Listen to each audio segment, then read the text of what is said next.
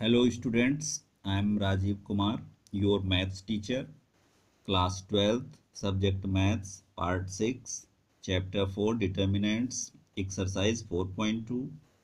Question, using the property of determinants and without expanding in questions 1 to 7, prove that there are seven parts in the question and without expanding you have to prove all the parts.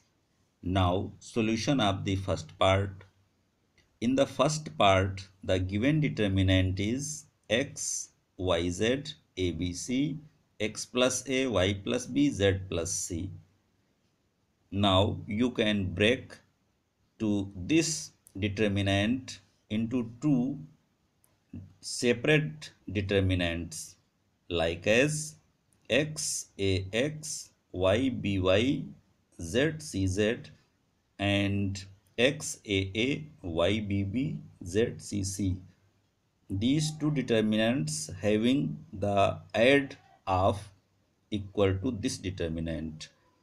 And now you can say first determinant is equal to 0 plus second determinant is also equal to 0 reason of first determinant to be 0 is c1 is equal to c3 and by property if any determinant having equal rows or column then the value of the determinant is 0 so this determinant will be 0 and same as this this, this determinant is also 0 and the sum of 0 and is equal to RHS and hence proved. Now solution of the fifth part. The given determinant let triangle determinant so as triangle. It means you represent determinant as triangle. Triangle is equal to 0a minus b minus a 0 minus c b c 0 take 3 times minus 1 common. First minus 1 taking common. From first row you can say first column. You may be. And then the determinant after taking 3 times common is 0 minus a b a 0 c minus b minus c 0 and now the triangle is equal to minus determinant 0 a minus b minus a 0 minus c b c 0 because minus and minus multiply plus and plus minus multiply minus.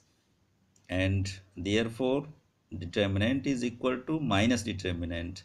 Triangle is equal to minus triangle because this value is equal to triangle. Let earlier. And if you this determinant take in before equal so two triangle is equal to 0 and now single triangle is also 0 and it is proved. Now hence proved and solution seventh. LHS is equal to this determinant and you have to take common from first row, second row, third row. और you can say first column, second column, and third column, A, B, C. After taking common, minus A, B, C, A minus B, C, A, B minus C is remaining. And again you can take A, B, C common. A take by first column, B take by second column, and C take by third column. Then the remaining determinant is this after taking common. Minus 1 1 1 minus 1 1 1 1 minus 1 and now a b a square b square c square and it is if you add c1 plus c2 then this column come.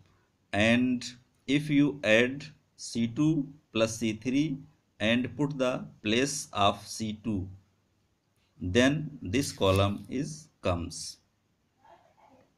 And third column is remaining same as.